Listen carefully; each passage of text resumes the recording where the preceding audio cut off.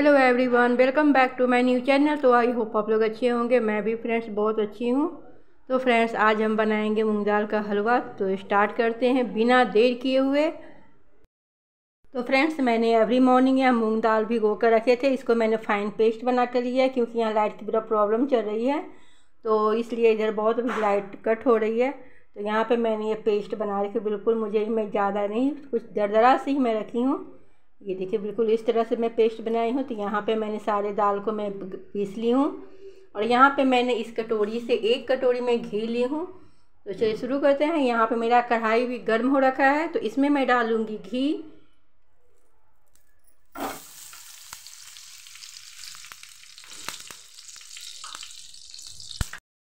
मेरा घी भी बिल्कुल ये देखिए गर्म हो रखी है। तो इसमें मैं डालूँगी ये दाल। जो मैं ग्राइंड की थी।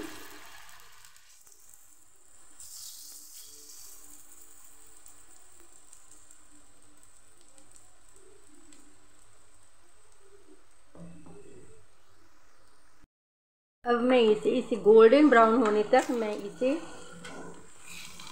भूनूँगी जब तक ये बिल्कुल ब्राउन ना हो जाए और ये देखिए मेरा ये जो मूंग दाल है, ये बिल्कुल हल्का सा ब्राउन हुआ है। इसे मैं थोड़ा सा और ब्राउन करूँगी। और इसमें हिलाते ही रहना है, ताकि अंदर से चिपके नहीं बस ये थोड़ा सा और ये ब्राउन होगा।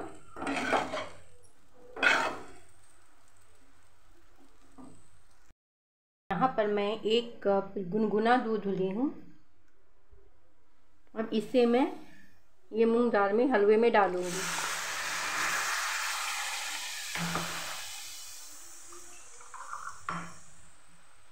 इसमें मैं थोड़े से पानी को, ये जिस कप से मैं दूध डाली हूँ, इसमें मैं थोड़ी सी ज़्यादा नहीं, मैं हल्का पानी डालूँगी।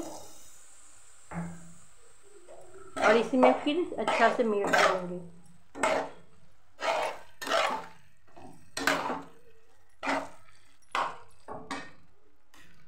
और यहाँ इसमें फिर मैं एक बॉल इससे मैं एक बॉल में चीनी डालूँगी ताकि ये चीनी मैं दूध इसलिए डाली कि ताकि ये जो शुगर जो है ये अच्छी तरह से मेल्ट हो जाए।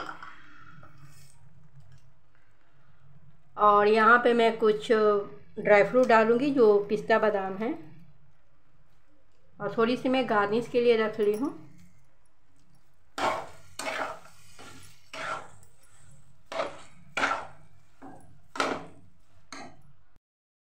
मेरा हलवा रेडी हो रखा है। अब इसे मैं सर्विंग के लिए निकाल दूँगी।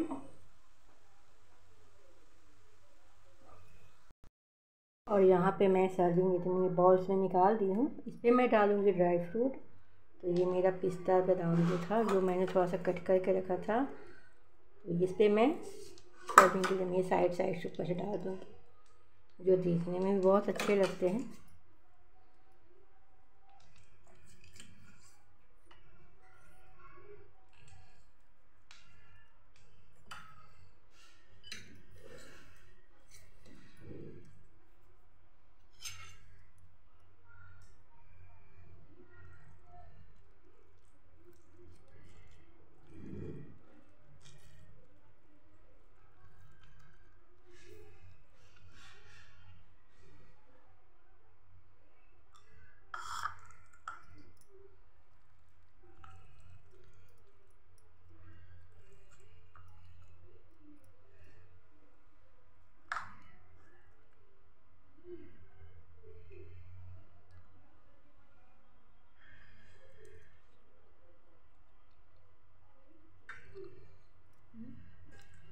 और ये मेरा मूंग दाल का जो हलवा है बिल्कुल परफेक्ट बना है।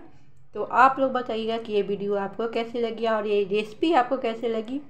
तो मेरे वीडियो को लाइक और सब्सक्राइब ज़रूर कीजिएगा। प्लीज़ रिक्वेस्ट है तो आप लोग मेरे प्लीज़ चैनल को लाइक और सब्सक्राइब ज़रूर कीजिएगा। बाय